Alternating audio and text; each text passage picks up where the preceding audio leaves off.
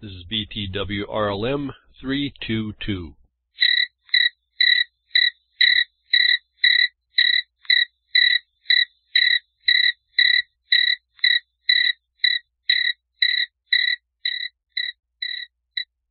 How many years? Just some stubborn crickets. I'm just thinking about it, just sitting here. Funny where my mind goes, waiting for the broadcast, everything hooking up, watching, make sure that things get hooked up. How long has it been I've been playing crickets? Is really pretty astonishing. Pretty disappointing, but real astonishing. Why? Because once I told you about the crickets and what I were, what they're about, nobody really stood up. And so it's not looking too good. And I'll say that every week, I suppose, until I get it past it myself. But it seems like that needs to be repeated over and over. What am I talking about? Well, you taking up that republic that you was gave and keeping it, which you haven't. And so you want to live here, United States of America, which is exact. There's an example for the rest of the world here as well that seems to be lost. You got to have to step up and keep what you probably haven't had or enjoyed, but was always been there to do so. And I didn't come onto that just because I'm so brilliant. I came onto that after I got shown this military consequence 30 something years ago and caused me to go, wait a minute, it's not what's supposed to happen here, so why is it happening? And that inquiry led me to here. And uh, in the middle of that process, I found where this thing called the law of the land is, not the one you constitutionalists are pointing out to in Article 6. That's the evidence of a trap. The one that was happening from with, uh, with regard to the law of the land itself. And when you see what that land, law of the land does and means, you'll you should realize, and well, the main principle there is we hold land in the United States of America even against the government. Now, yes, there's an Article 5 problem with the uh, public. Uh, the public has some higher rights, so-called, but I've also learned that that right has to come higher than the one that you have in your property. It's just not a hand me because eminent domain exists. And so there's a whole other way to look at what's going on. We handed it every, we handed everything over to these people that we didn't keep that republic. We didn't keep that real law of our land from which our production rights come from, which our wealth comes from. And we allowed all this nonsense on us and all, and all, kinds of it. And I'm not even talking a lot. Most people listening to me are only. They're like uh, internet internet uh, babies. There, there's knowledge that goes so far back they didn't even understand about any of this stuff. You Yeah, almost the way of the world, folks. And and we come into this place uh, in the United States of America and, and didn't know what to do with it. And that was done on purpose too, but it's not an excuse either. And I guess that's the point. As I hear crickets all this time, and you have it in your hands to do, why hasn't it been done? Looks like a big mental illness to me after a while. I say that with a lot of love now, folks. I'm not calling you a bunch of mental cases, but we are. As a society, we are. And so these, just as I'm sitting here, I just realized, man, these crickets are going. I'm tired of these crickets, folks. Uh, aren't you? Even a few seconds a, a week. Aren't you tired? To understand those crickets mean we're failing as a society? We're failing locally now. You know, that seems to be too big. You're failing in yourself.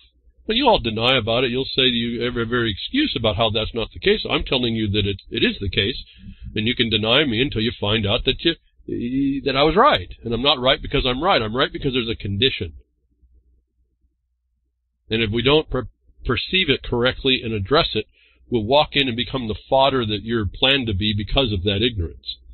And I come here every week to try and get somebody to more else to step up and do some things around them, around them, make that wrong, uh, find the wrong to make it right, even the smallest thing. Just start to take responsibility for harms that are going on. It's not just you, is the other thing.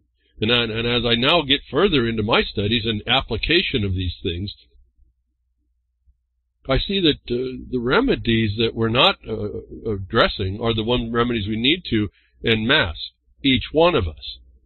This is not an army necessarily. It's each one of us. We become that army. We don't even know that is the other interesting device. And for those of us that want to believe we're humans instead of men and uh, women, the human animal, the gorilla, that we need to be doing those gorilla tactics in this regard. because by ourselves we're actually the minority.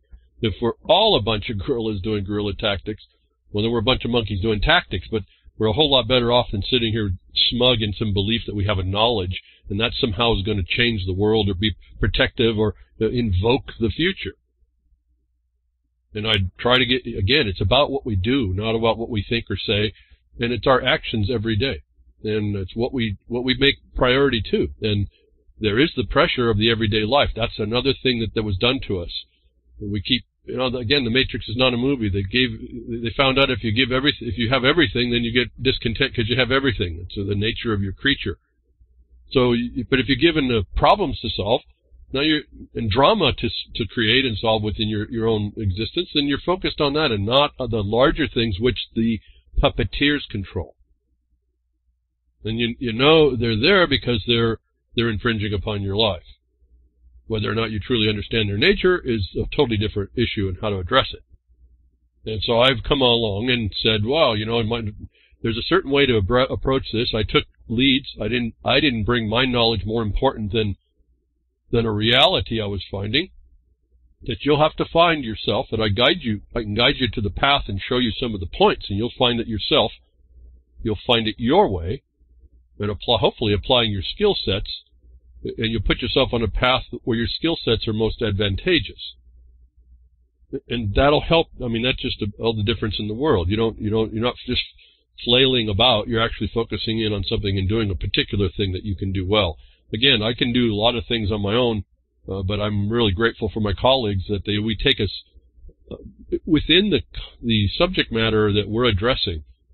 Each one of my colleagues has a different uh, specialty in themselves, and I tend to be able to pull that together and bring it into a bre- the best presentation among us. And that's my place in, in that whole point. Even though I can do it myself, it's nice to have the help. Well, that doesn't happen by not choosing to do something. You have to get in and commit yourself. As long as this is, uh, you hear the crickets, you're hearing the society that's failing to do that. And I don't put an excuse. I put no reason for that because we have no reason. There's no excuse that will stop this. You know, people tend to want to make a question out of, well, what, what do we do? Well, it's not, here's a, what do we do? Well, that's the problem. You actually need to go in the bathroom, look at the mirror, and then ask that question, what do we do? And unless me, myself, and I is the we you be talking about, it's about you. It's about the one in the mirror looking back. What are you going to do? It's I, not we. Now, you may walk out of that mirror and go find someone that you live with that can help you because they walk in the mirror too and they go, what can I do? And they walk out with that question into the living room and listen to this broadcast or not listen to whatever breads and circuses you want to do.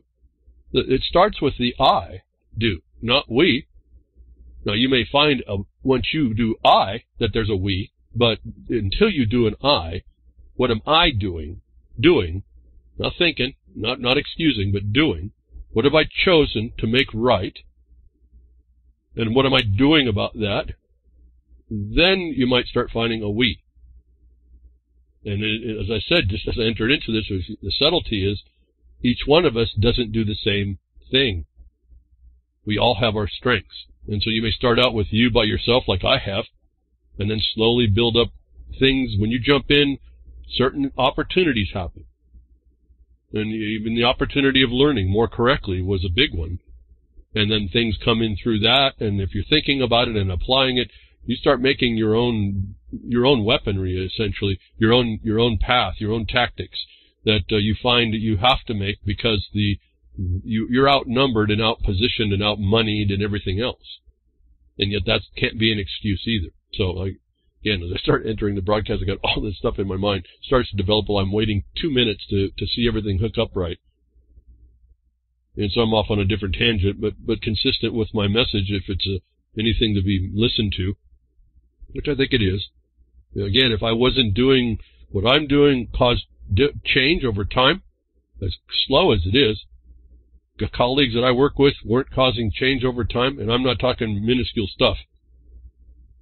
Then I probably wouldn't be talking to you. But when I see people in the world, their houses are burning, their forests are burning down, your wealth is being destroyed, your livelihoods, your homelessness is up, your kids, your little ones, your goats, your little goats, your kids are being destroyed by this corporate condition when you don't recognize what you're dealing with is a war scenario, when you don't see that that you have to answer in certain ways to that, notwithstanding all the free you think you is, I have uh, I, I don't know what more to do. I'm here to try and help people solve those problems for themselves, and there's techniques to do it. And if it's not the ultimate techniques at this point, I don't care. They're techniques that work at this point. You can learn better as you move. But I haven't seen anybody has any techniques, so that we're all sitting here floundering. And pretty soon we're going to get uh, a hook in our mouth and be yanked out and clubbed in the head like a big flounder that we are, because we're floundering instead of focusing and doing something. Again, what do we do? No, you have to. It's you, each one of you. What do I do? And that's the first problem. You're not listening to what I'm saying, and then you don't choose something to go do. And it, any gripe you have is where you can start. You can make a list. It doesn't matter. Make a list. You can have 50,000 gripes. Write them all down. Then, then stop griping. Go and find one in there. As I was explaining last week or week before, choose one. Just go after it. Now, I tend to speak more in foundational law of the land law land things. I tend to then extrapolate that out from those that are trespassing upon all that because it's basic law. Nothing, no, no amendment, no um, ad, uh, adjective law. It's law, and it's provable by documentation. It's the most foundational thing that I've found can teach, taught me, teaches me how to approach it.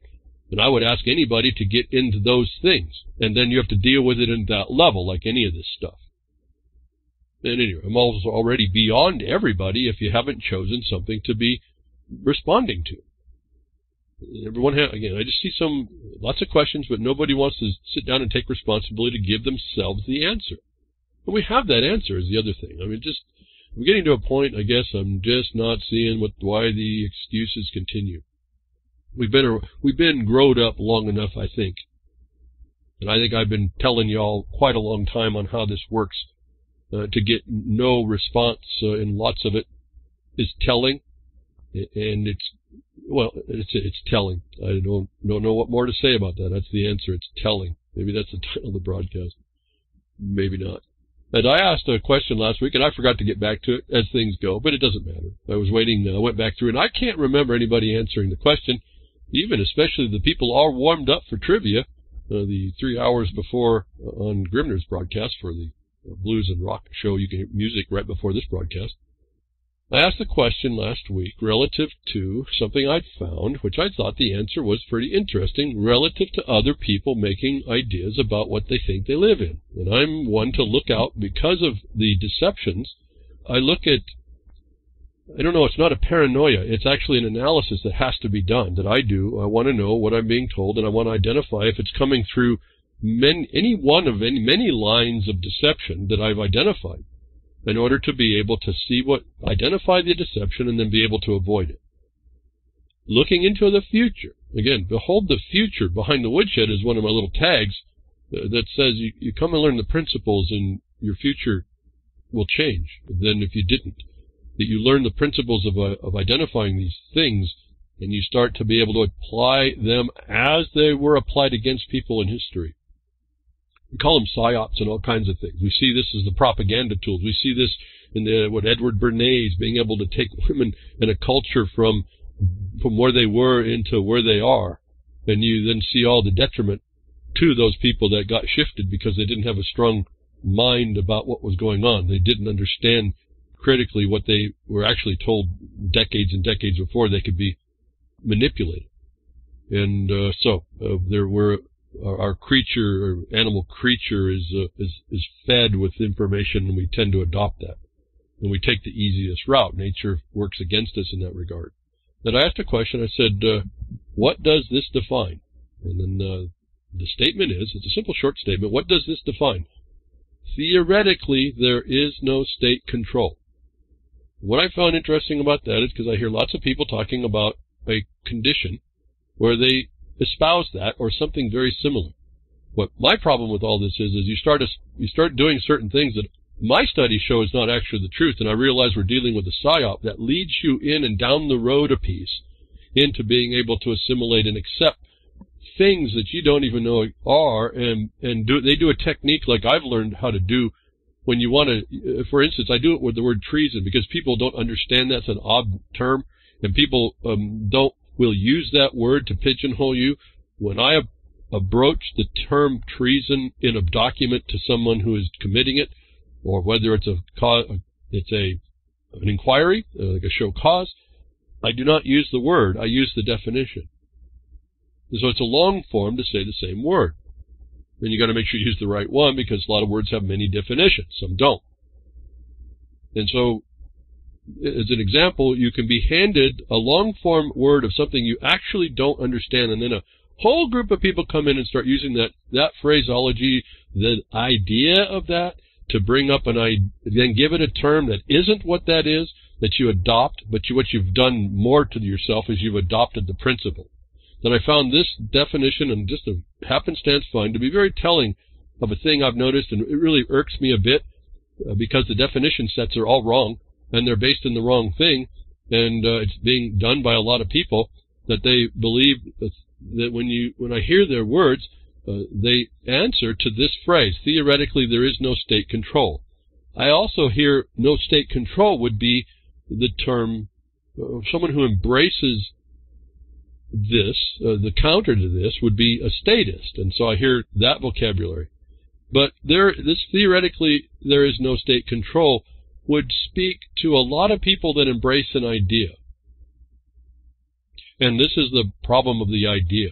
When you do another definition set that's not consistent, and then you attach yourself to something like this, you would necessarily down the road start to embrace the softer sell of the idea of a system. This ends up being an ism, like all of them, that you embrace the promise of no state control. So, no one answered last week. All the trivia people didn't answer. I didn't get any emails. What does this define? The statement, theoretically, there is no state control. And so I didn't give you the answer last week. I'll give it to you right now. And I'm not going to, it's not me to give. I'm going to give it right off the website I found. It's on a column of two isms. Theoretically, there is no state control defines communism. That defines communism. If you didn't understand that, then anybody who goes into this statist and non-statist, anti-statist condition is actually being walked in the future into the presentations and promises of no state control. And this is the subtlety. It's not the only one that's happening. It's one example. I've never really seen it defined that way. But it's there. It's, I went through and found some other places. And then you have to understand that communism is a, another form. It's kind of like on the same bar, but on the maybe opposite ends of extremism with socialism. And so I've looked at that definition, that definition answer, that there is no state, theoretically there's no state control. It doesn't mean that it, that it has ever happened. What it is, is that that's the ism that takes on that title. That a lot of people that are believing that there's a, that there's a no state that you want is walking yourself into this in your mind. And what you then do is you start to adopt over time the soft sell of all the elements that bring that on. Now we see some people a lot more susceptible to it than others. But I'm watching a whole bunch of people who believe they're critical thinkers being inculcated with this concept it doesn't come to you as communism. It comes to you as a definition, a long form definition. And you mentally buy in to it. And these people are brilliant about how they do this. I guess so this is a word of warning. If you think you can rely on on this condition where you you want an existence of no state control, be careful of what the future has has in it for you based in that. And so I would offer that you adjust how you look at the world again, to the realities, not what you make up or what people tell you to make up or what you think you've made up because other people say so. You need to go research way back. so that you figure out what the real lineage is, not as tailored in the warm and fuzzy ways that are done to get you to get your mind to uh, malleable enough to uh, take on this stuff. As I've been saying, you be careful. You go. One of the terms is anarchism, right? You know, no, no rulers. I got no rulers. Be careful on that one. You better have at least yourself as a ruler, and then you better realize there's someone else out there. And if you're Cain, if you're not Cain, you they're, they're, you're an Abel, and there may be a Cain out there uh, coming after you. So there's a reality about all these things, and you can get your mind to start absorbing the idea that there's no state, and theoretically that means you believe in communism, even though the word you use today is different, you're now making yourself acceptable to certain ideas. And they come in so subtly that it takes how many years, and we're still talking about things like climate change or uh, the Green Jobs Bill. We're talking about destruction of your environment. The we talk about conservation. It's a war crime. People don't even understand all this stuff. They take it on. Uh, they think it's a good idea. They don't. They don't realize the the people who who started this didn't. Well, they treated you like the United States government does in its own code. Men and women are treated as pest animals. I keep telling you about that. Go read it. Don't take my word for it. Go read it for yourself. Uh, no different than I've exposed to about everybody now anyone who wants to have a mind is to read it and go see it. That your what is your civil rights? Your equal rights? They're they're they're the right you accept extortion. And so when you take the statuses that are in there, you are accepting extortion. It's not about consent. In fact, we were talking uh, last night. Somebody came up. I should get to there here pretty soon. Get back to the tabs. Let me get to them uh, after the first one here. Uh, it's not about uh, to dissent either. Dissent is just the withholding of assent and it's way more than just that. So these terms are instructive. Uh, they can be confusing, but and you could dismiss them. But there's a very uh, there's lessons to be learned in understanding language again. So I hope here the theoretical theoretically there is no state control speaks to those that would uh, use the term statist when they think they're not embracing a state by saying it and you think that means freedom. Those that have the control and the power understand that to be communism. Therefore, by definition, there's a state you live in, and the word state is very interesting. Kind of like the capital S state, the lower S state, and then you get all those of you that want to get all uppity about the words. Oh, it's just language. Yeah, it's how we communicate amongst ourselves. It's kind of important. Otherwise, you, you don't you start sounding like a, a, blithering idiot, and that's what the problem is. I'm hearing. I'm hearing a lot of these crickets are like blithering idiots. They don't understand how to solid up their language in order so we can actually understand what the heck they're, what side of the fence they might be, whether they're in the fence at all, whether they're even talking about reality. And again, that's how the, the other side is working. They don't talk about reality. They talk about the world that they want, that they want you to buy into, and you eventually do. Just like the Silent Weapons for Quiet Wars says you'll plug in you plug in when you oppose it and don't respond to it as well. And that's the most subtlest deceit.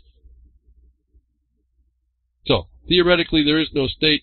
Control defines communism. Be careful on those of you that believe that there is no state. Because they may they not have not been able to pull it off, but theoretically they can pull it off. And you'll buy right into that. And that's why I, I assume different. Yeah, I know the word assume. I took assumption, yeah, another legal term, of different things, not because I, it's my choice. It's because it's a necessity to take on those assume, assumption, assumptions of reality, at least as I perceive them. And this is where we start to move along. We get to the thing that's occupying you and the presumption. The presumption that you are having to meet. And when you have a presumption against you, you don't have an ability to dissent to that. That's not a good objection. And that's what we talk about here coming on. I'll move on to the tabs here, moving on further. So I didn't get any answer to that question. I know, and I'm uh, interested that no answer came from even the people that uh, would respond to that uh, in their own belief, which means that they really don't have a, you all don't have a foundation. You really don't. And so another thing is, it's easy. Just stay away from the isms. Go by function. I guess that's what I didn't finish saying. Stop what you believe and look at what's functioning. How do things function? Again, the deed. How's it working? And when it when it's not working to keep the peace or it's not working to keep people safe, then you have to question that and put it in a place of function. And then you have to say, I guess one of the next questions, can it hurt me or others? And something that is hurting you or others ought to be a focus and a priority. So I don't know, I don't know what, so I say, I don't get into the isms, the ists. I don't get into, I really don't get into any of that. It's not because I'm trying to be avoiding, and if I don't take on a name, uh, then uh, I'm not. Uh, uh, I'll somehow I feel like I'm I'm different than everybody. No, because I'm innocent of things. If I'm truly innocent, those aren't those are labels that don't attach to me. So I'm sitting in a presumption of innocence, and then I'm just going out in the world and doing doing what my thing is, and I find everywhere there's a there's an oppression. That didn't settle with me well, and certainly when it, uh, it reared its ugly head and put my life literally in life in, in jeopardy in in the next moment. And so here we are again, uh, returning back around today.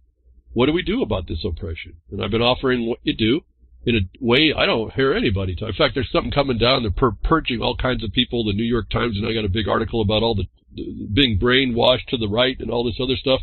Uh, remember, I was um, I got the, I got the Twitter behind which I'm really right of everyone. I'm, the law has become right of all sectors of society, even even the Trumpster, the self-declared Trumpster, even know, MAGA. Uh, when they identified what I was saying as right of them, you realize everything is left in, a political sense. And all I'm talking about is objective basis of communication between people to keep the peace. Explains a big deal there if you understand uh, what I'm really, what I've, if you understand what I've been saying. I'm simply speaking in the terms of proper, more proper communication so that everyone gets to their point much quicker and identifies the oppressors against them and, and I get flack or nothing and I'm blamed to be right. And when the so when the right is when the law and proper communication is is right extreme right of your entire society, not even in Houston we have a problem. So I don't know the answers. I can just tell you that things have to be addressed, and I can tell you how to best start approaching them. One of the ways that we, little evidences that we hear that things emit, the glitches in that matrix that's not a movie, the glitches that you see are telling us things. Again, we can choose to pick them up or not. I've been asking people, was it Jonathan Corbett, I think is his name. He's been heavily on the TSA. I haven't even gone back to his website to even know.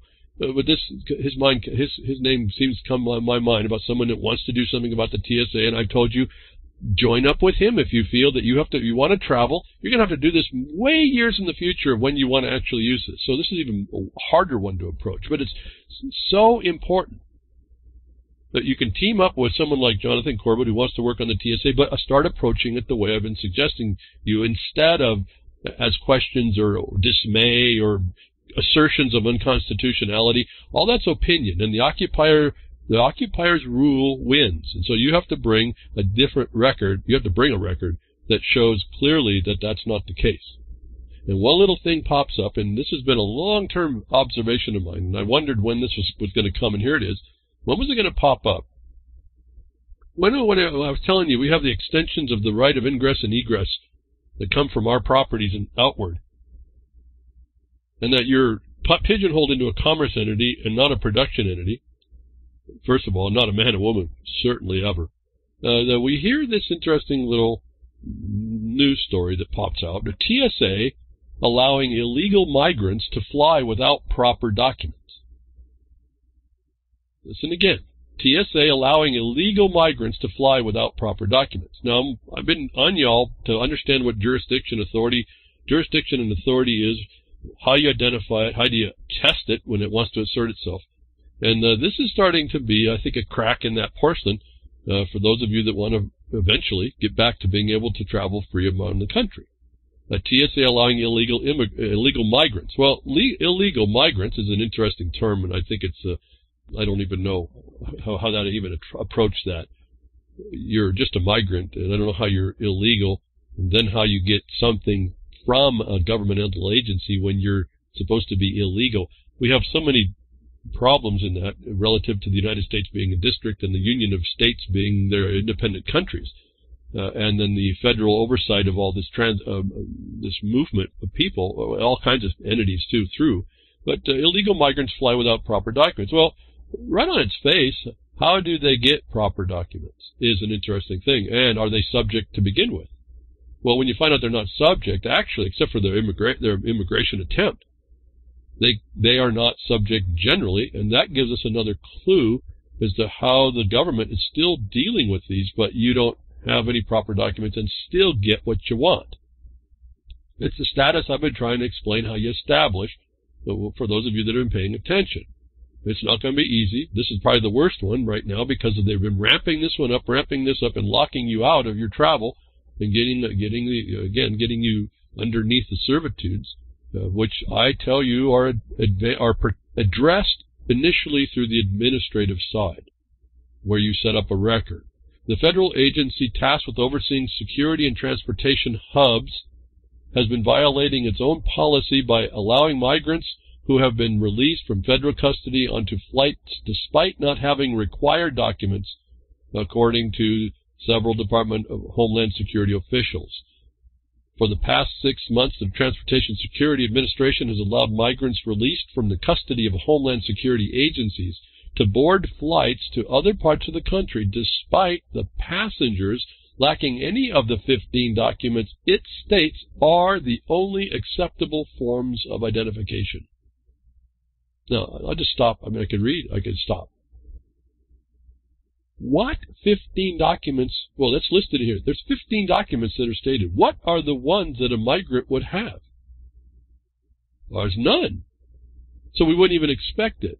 Can they stop people from actually traveling? Well, I don't think so, and you see, they can't. But we talk about it as a policy concern, not the law. And so my observation on this is here's another view. If you will wish to see this, it's right here, but there's a limit to this authority. And and so my, my initial response to this was it says when you read the rules, it says that they must show, and I've gone through this before, this isn't even new news. This is all the same restatement of everything I've been telling you, that how you approach how this works. It states that you must show these identifications. Now, what does that mean?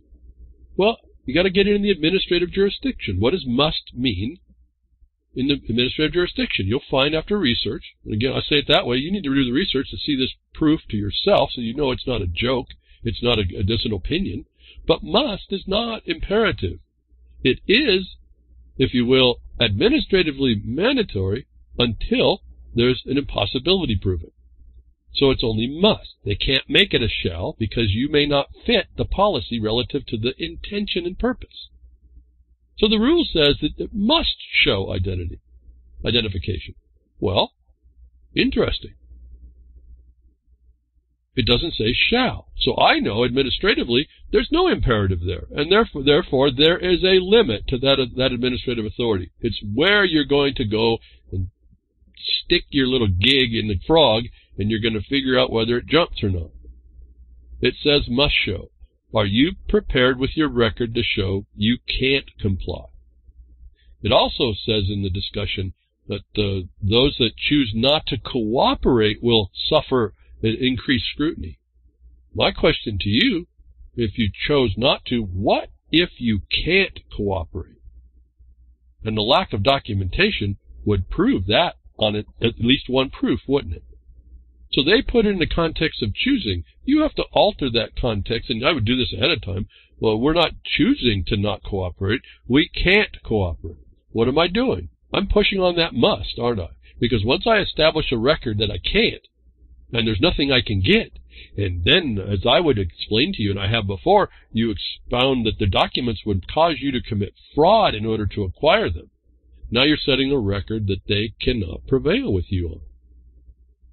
And so the question was all this uh, hubbub, hubbub here about, oh, the immigrant, illegal migrants are able to travel, really is one that they're not subject. And they haven't allowed themselves to be subject, and they're not able to be subjected, and all you all have become subjected. You haven't read the most basic stuff to understand how you start cutting those ties.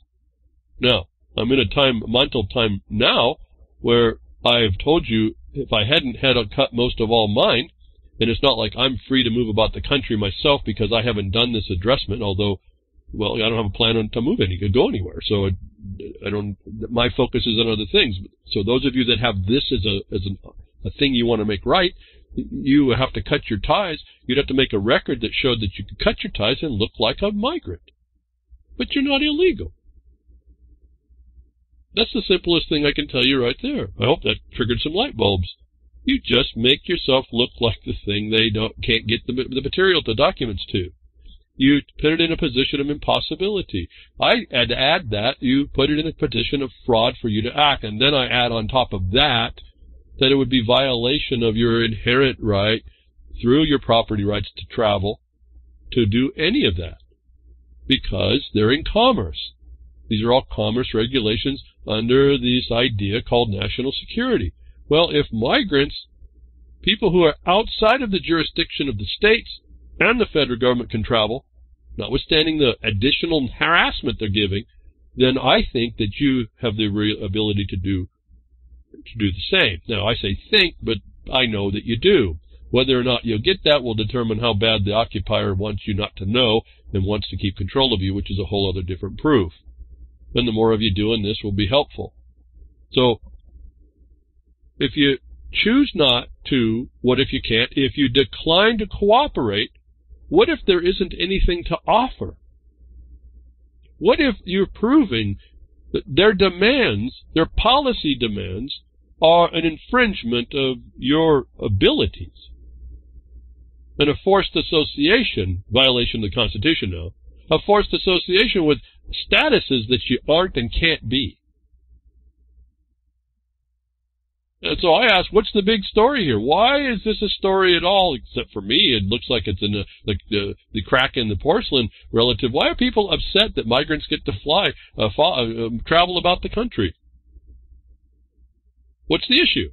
If they're the example and evidence of how you do that. Because why are you all worried about getting your fifth, one of your 15 documents? Have you ever looked at those documents?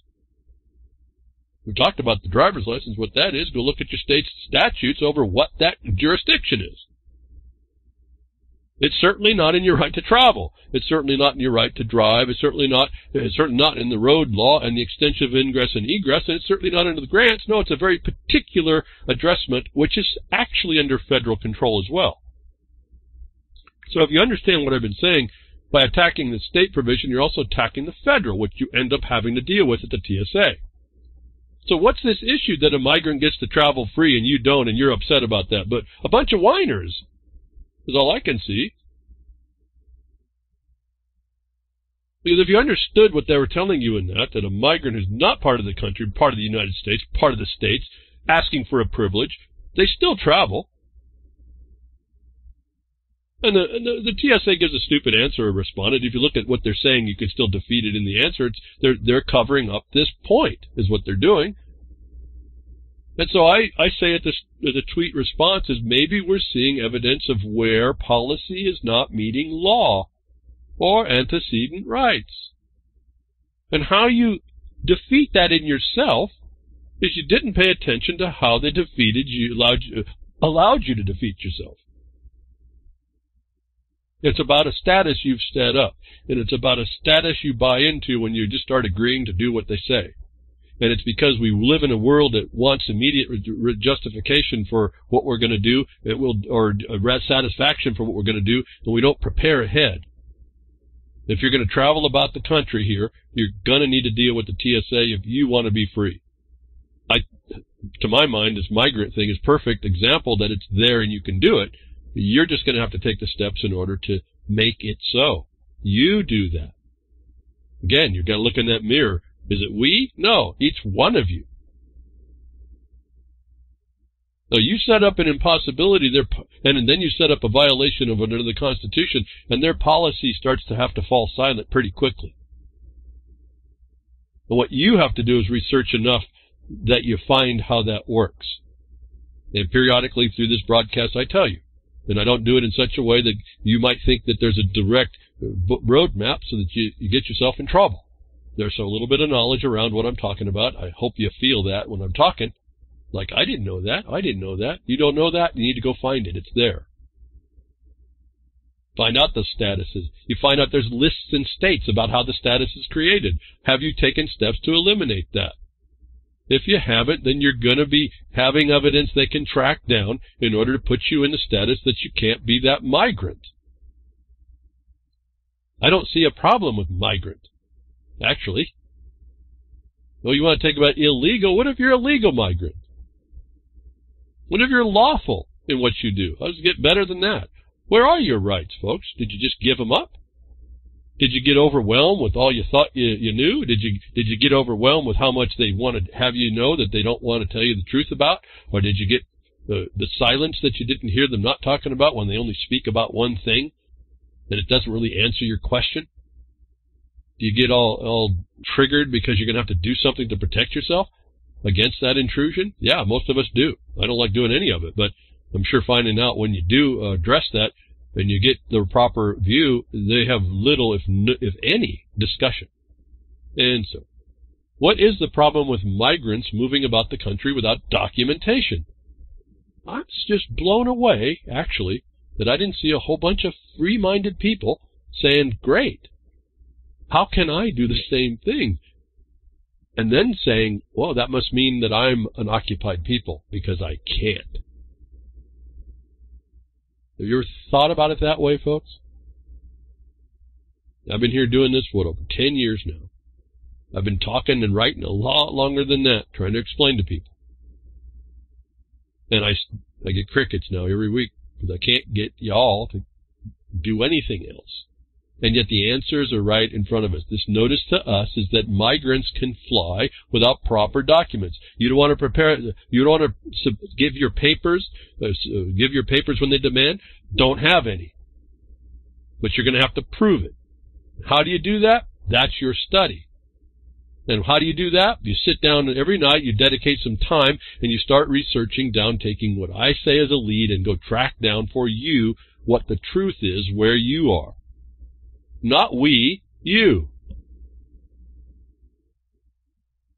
Like I said, unless it's me, myself, and I, the we that you see when you look in the mirror. But it's each one of us. And I can't, I cannot make those decisions for you. I can just uh, implore you to do the proper thoughts and get the proper knowledge and start looking at the news the way you really ought to. And I think, I don't see a think, I know when you see migrants fly without proper documents, you ought to want to be a migrant. Not hard to kick that illegal term off of it, and I'd be a lawful migrant. Maybe I just said something in the word migrant you need to understand too to get around something else. Okay, another that's another nugget. Because it gets you in a mindset. When you start seeing what this is about, you start getting the mindset. You start to see different. And it's not easy. These people are occupiers. They don't want to let you go free. But when it comes down to the brass tacks of it, their policy, they couldn't keep people from moving around. And so I'll move on. Uh, there was a comment to this, and thank you very much.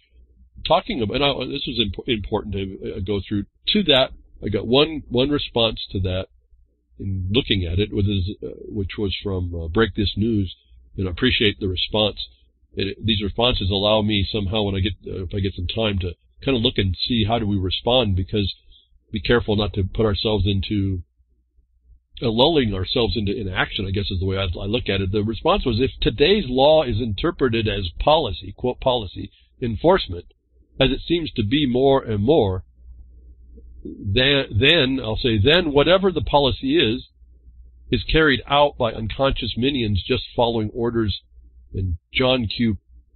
And John Q is ill-equipped to dissent. And this is where I was bringing up the dissent before. In my mind, that triggered on I, I triggered on this one was dissent. It's not enough just to dissent. It's not enough just to withhold asset. That's all dissent means.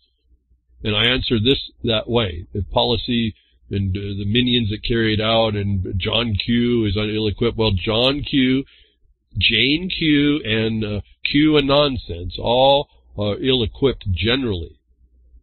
But the problem I see with this look here is not a problem more than observation. Yes, all that's true that the minions will, the unconscious minions will impose upon you all the cue, which is not good. In fact, the question says that to dissent. It's not enough just to dissent. Uh, this is like withholding consent. It's not the same thing. You, that's not all. All of that doesn't work. So anybody who's been focused on this stuff, you're not understanding the condition, the state, the status, the presumptions of that, and then how. So you don't even know to, to address it first of all, but then you don't even know secondly to where to begin. You won't get that until you start doing the things I'm asking you to do for yourself But I respond to that question. If today's law is interpreted as policy enforcement, as it seems to be more and more, then whatever, then whatever the policy is, is carried out by unconscious minions just following orders, and John Q is ill-equipped to dissent. And I say yes, but it's not an if, nor merely to dissent, and more the reason people need to get behind the woodshed.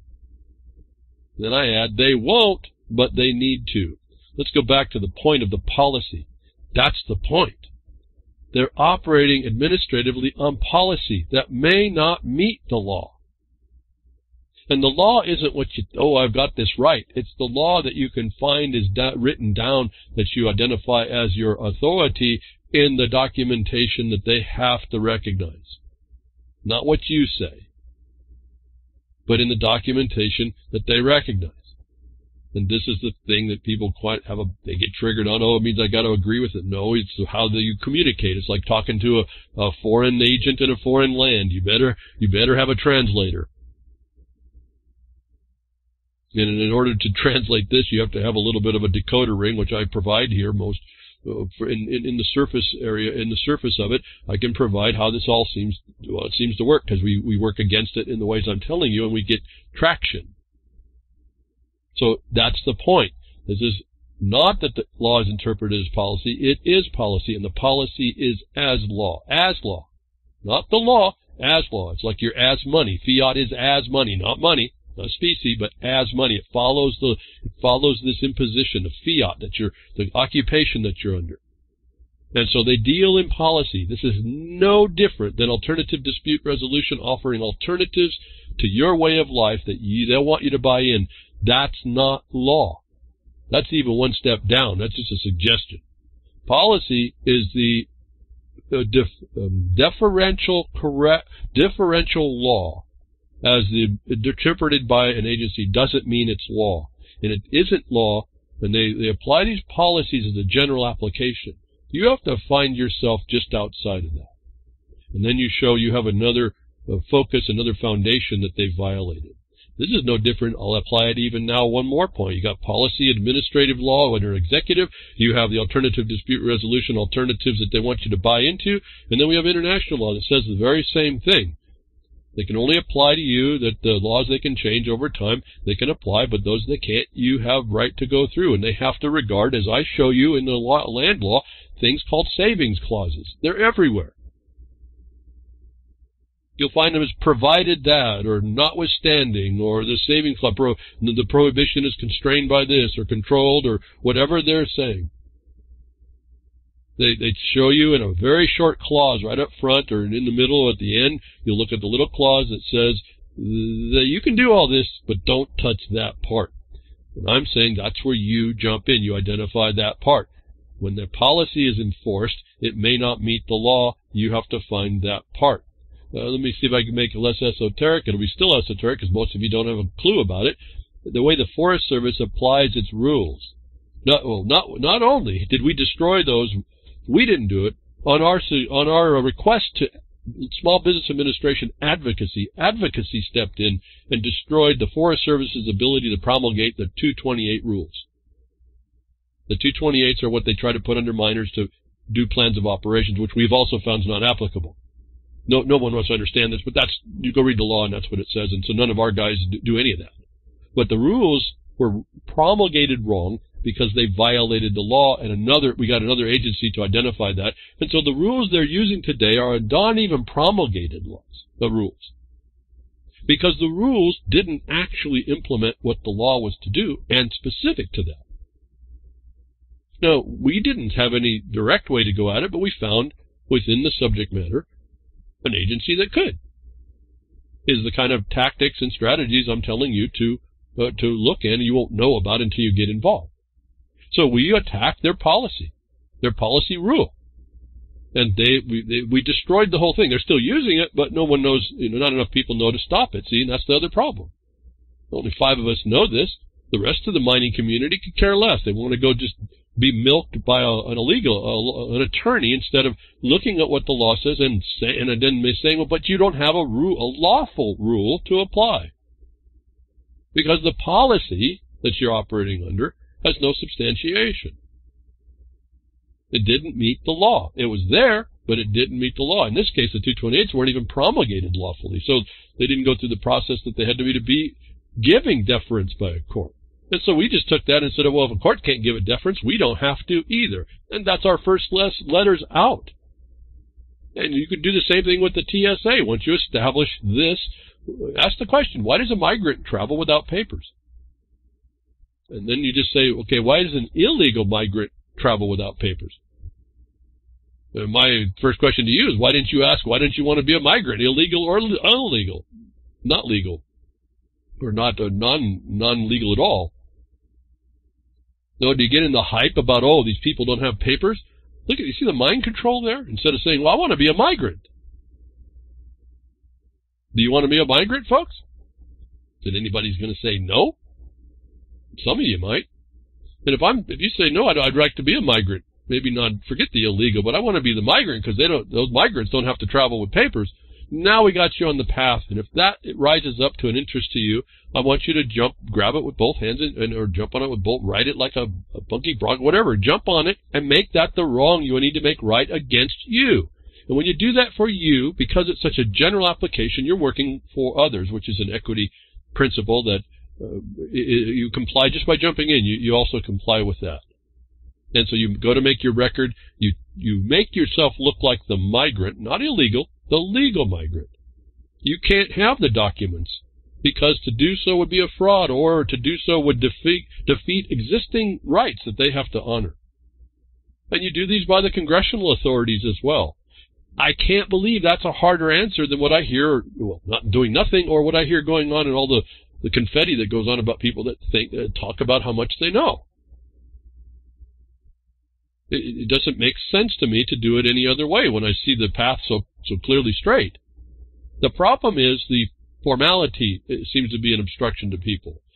In this case, the TSA is pretty straightforward. The, the courts have said you have to deal with the TSA administratively. I say, good, do it. It's not. There's no judicial consequence there.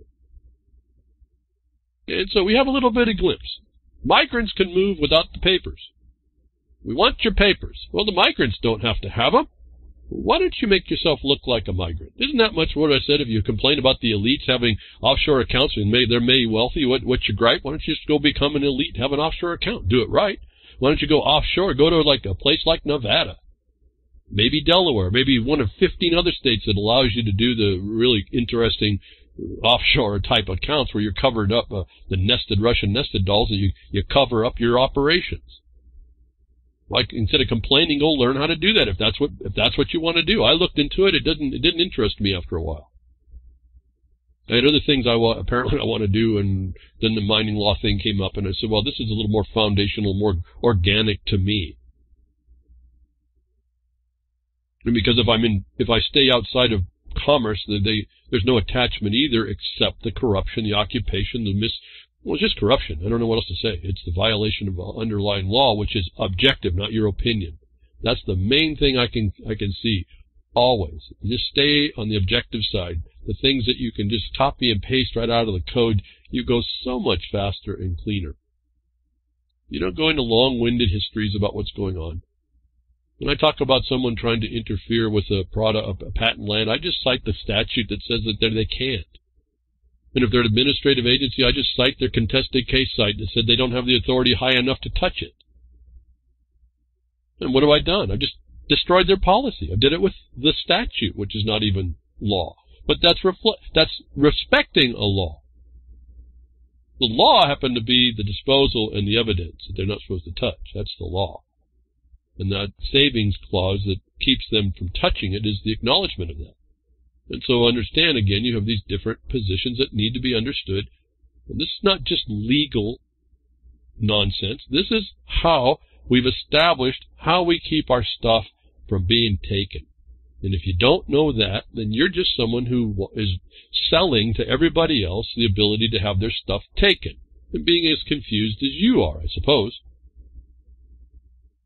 Our other problem that rides on this, that obscures that a little bit, is that we're in such a corrupt condition and we haven't had enough people being able to call it out because they don't make the record right to be able to prove it in such short steps and that's what I try to do. Not many people are agreeing with it. As I said, people need to get behind the woodshed. They won't, but they need to. And I mean get behind the woodshed. Not again, we're not going behind the woodshed. We're getting the principles that you, we ought to have not lost or we should have gotten to bring someone else behind the woodshed that's been doing the wrongs. And so get behind the woodshed. Get what I'm saying here it's not hard to understand. Anybody who decides it's hard to understand is lazy or, or is trying to sell a sell you down the river, and that's not. They will let you want to buy, give you some uh, uh, an, an easy out to to a situation that's not easy and it wasn't meant to be, but you are in put into if you have any idea you want to be free. Otherwise, you're just talking and doing nothing, just just doing nothing. You're not contributing a little bit either. And as I said, I see more just noise. That's what this whole social media thing is, just a bunch of noise. I'm amazed at what's coming down that they're saying, oh, you can't, uh, we're knocking out, we're purging all these people. Yeah, that's not a good thing, but we'll go make your own platform. For not, stop this nonsense stuff about being subject to somebody else. I don't know when this broadcast is going to get knocked out, but see, I don't, I don't get on to the ad money. I, I just I saw that coming years and decades ago, before I even understood about the internet or found a place to get on. And even that for me was a little bit hard. But anyway, it happened. So here I've been. Another two other networks back. But I never was on the monetization stuff. That was a major trap. And I just, in my life, I've just seen nothing. Money messes people up coming or going, you or them. It just messes stuff up. And I said, listen, if I got a message, it's going to have to go out because I can do it. And, and people are, have been gracious enough to provide things to me that allow me to do it. Do I need the money? As money? Even, even the fiat? Sure I do. But will I do anything to attach? Absolutely not. I don't do a lot of stuff on the internet just because of all that. If it ends, it ends. I go find something else. The internet's not over. Everyone's talking about, oh, the, the age of free speech is over. No, it's not. That's you're giving up. You're making, you're, you're telegraphing that to other people so they give up. And yet there's so much opportunity. Do I have a lot of people that follow this broadcast? No. I had a lot more before. But that's, to me, is indicative of the seriousness of our, of our dire straits. No, I'm not talking about rock music. So, what do you want to do? Do you want to take this migrant? Why do migrants get to travel around the country without documents? Is really interesting. I smiled when I saw that. I said, well, here's something I'm going to talk about. This is important. This is something if I can get people to understand and they start to see this, you can apply this to anything, actually. But if they get to see this, for those of you that want to have a right to thrive, you got to reorient your thoughts and then see that, that you have a right to travel if you're a migrant without documents and the government can't give an answer, and I say they won't give the answer because then they'll tell you the truth. And part of that truth is finding not being the status that you can get those documents in the first place. Then you create the impossibility. Their policies can't match that impossibility, and you still have the need and right to travel now. What are they going to do? You going to give me an answer in your mind? Did you answer that in your mind? Did that now that you hear, oh, that's an interesting thing. Let's move on to the next breads and circuses in your mind to do. Or are you going to say, well, that makes a good point. I'm doing something in my life that makes me look like a somebody that's not a migrant, somebody that's free. Remember, these people don't belong, if you can say the word belong here, they don't belong in the jurisdiction. And there's ways that you belong in a jurisdiction. And all y'all can put in your mind all your guilt about all the documentation that's in the world that confesses away your ability to be non-dependent on it all. You go ahead and do that if you want, or you can take on the strict uh, innocence position and force everyone to start forcing the the application of a status on you. As long as you're as long as you're innocent and there's no document that that's being created, how are they going to do that? It's all about documents and evidence.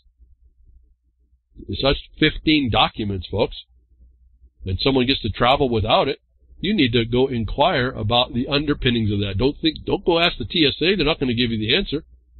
They're going to give you a bunch of nonsense. Go find out why. And now you'll be a lot closer to where you want to be. For all y'all that think you want a right to travel, right to drive, and all this other stuff. It's there to see. How did a mi illegal migrant travel without documents is should be an answer to you. And if you don't see that, I don't know what to say all these years. You should be, uh, again, why weren't more people enthused about seeing that? In fact, the, the article was condemnatory. How come they get to travel without documents and we don't? That's a pretty pathetic opinion. What a victim. What do I, I come along to? it. Wow, there's, there's evidence. Evidence of free, being free. Just move about the country without my papers. I don't have any. I can't get any. Now what? Now I wouldn't end just there, but that's the that's the nubbins of it. There's, I like to stack. I like to stack my my positions so that if they break through one or they have a, stupid, even a stupid answer, they're going to have to answer the tougher one. And after about the second one, the third one, they start realizing it's going to get tougher and tougher. They stop. And so we've been told within the United States we have to go through administrative uh, uh, an administrative condition. You're seeing the illegal migrant has to do that, but when the illegal migrant, the migrant comes through, they don't have any papers to give. They still move about the country. Then there's going to be, a, when you read that story, there's also something about heightened security. You have to attack that while you're doing that as well, where you, again, you you find how what authority they have to take away your innocence and you put that in administrative context. In other words, you throw that practicability they're going to throw on you that it's national security, and you say that didn't mean you could destroy my innocence. And so there's going to be a little bit of uh, discussion on that in record written down that you need to do. It. There is in all this stuff. Do I like it to do that? No, but this is telling you because you have to, you live in an occupied country, folks. Just get over it.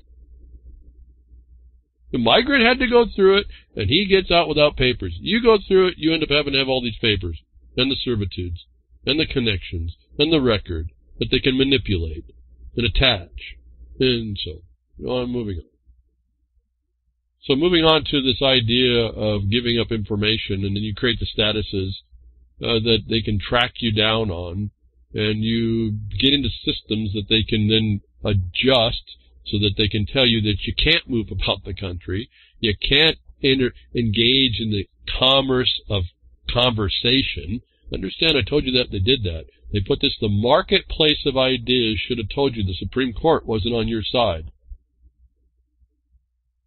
This all happened after, you know, like the 32 stacking packum of the, of the Supreme Court moving this into the more ad, administrative condition that has on it these constraints that you need to go find for yourself. For you, what do we do? No, you. What do you do is the question you ask, not me. Go stare in the mirror for a little while while you're kind of asking the we question and keep focusing on the fact that the one who has to answer is the one that's in that mirror. Yeah, that virtual image. And then you got to attach that to yourself eventually. The creative little monkeys that we are in our brains, we want to do all this evasion. But anyway, so we have given a we've consented against ourselves because we haven't asserted properly the fact that we can't, and created the fact that we can't do certain things. We haven't become that migrant. No, we condemn the migrant, not realizing what the migrant's telling us relative to jurisdiction, authority, and powers and administrative impositions. And we forget that, that by doing that, we bring ourselves into the idea that we are censorable. And then we're surprised that that happens, as this is starting to happen relative to now it's being focused on this, uh, what is it, the the journalism and, and then social media. You're going to find out how much social media is part of journalism and all that kind of thing as they start to knock us down because these statuses and possessions and the open questions that are not resolved because you all just sit back and complain and not really put the challenges out and watch very carefully on how to put a challenge out in in in certain ways. Uh, but here we go now. The the leader of what's going on here in China, the biggest uh, mass of people that have the biggest control, theoretically the non-state here, China, the communism. Now China bans the Intercept and other news sites in censorship Black Friday. The Chinese government appears to have launched a major new internet crackdown blocking the country's citizens from accessing Intercept's website and those of at least seven other Western news organizations. Seems to get a lot of press, but they're doing it here in the United States and everywhere else, aren't they? And so this is a global a global attack. I don't care what government you go through, they're all going to do it. And the government subsidiaries, which are these corporations, are all in tow as well. So we've been hearing also YouTube ban going on. Here's a list of ideas and statements YouTube will ban ban you for, for expressing under their new hate speech policy. You'll read in this story, you get a link. The Supreme Court uh, says that hate speech is protected. And so the, they're still uh, showing you that they call this hate speech policy. I said, what's policy? Is it applicable or not? Well, there's a question of whether or not these entities are private. I have a problem about uh, censoring private entities, but then I kind of lose that that censorship idea, but you can't tell someone what to do when they open their door to everybody. Like an open, you just open your door. And uh, if you look around, anybody who does that has a different, has to be treated slightly different. I say also the infrastructure that they run, all this electronics, runs on the public easement. And so they they're taking benefit of that public easement, and whether or not they're fully paying for that is a whole other question. But all these things need to be analyzed before you start making a question uh, about it all. If if fighting a private company's policies is something you want to do. Again, that's a different question than just saying, well, they have a right and then you're going to have to move somewhere else. And so the whole question about this was it seems like a lot of people is trying to bite the hand that was feeding them the, mon- the mon- monetary thing because this is now based on demonetization, jumping into hate speech policy as a guideline, which they create.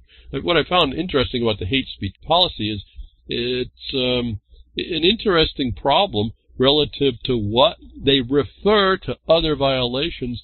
That is a, a, a vicious circle of, a lack of actual responsibility in telling you exactly what. And certainly it's no position where they just ban you. Uh, so the censorship is created by you agreeing to get into that. Whether or not you want to fight the right of the privacy for them to do that or on the public way, as I would uh, argue if I was, if it ever happens to me, I'm, I don't know, I'm not that, that invested in it. I've never done this for a buck, so I'm not really, I'm not really, there's no, nobody that pays, pays me. I'm grateful for Grimner and the website and being able to be here and do this. And then your donations, that's how I'm here. It's irrelevant. I get, go to our YouTube. I get hardly anybody clicking in there. Who cares? I mean, it's, I get better bit and BitChute. Thank you very much. I get better, better hap, hitting, hitting on the BitChute. And BitChute's now, I guess, 5,700, it's the 50, 5,700th, uh, website now. It's getting quite a bit of coverage. I only get my 50 to 100 a, a week, but that's 50 or 100 more than I'm getting well, well better than the RLM YouTube site. So do you want to even fight that? Or do you just want to make, do people want to get together and promote themselves elsewhere? And why aren't you promoting the places that you want? Why don't I see more thumbs up and comments and, and all that kind of stuff? Why don't I see more integration like I see in other places is also indicative. I kind of take a step back and I see why we're a society as screwed up as we are. I see why this becomes more bread and circuses. They want to have a hate speech policy, and my thought would be to go after, just to make a point of it, go after how in how lack of, of actual objective basis it is. Just to just to actually set up for the takedown the other way. Don't don't don't worry. Why do you get money and then complain that they're not giving you money on their rules? I've never understood that. But see, I'm not wired that way. It doesn't matter to me. And so I don't see, I'm not sympathetic to the part of this and this condition.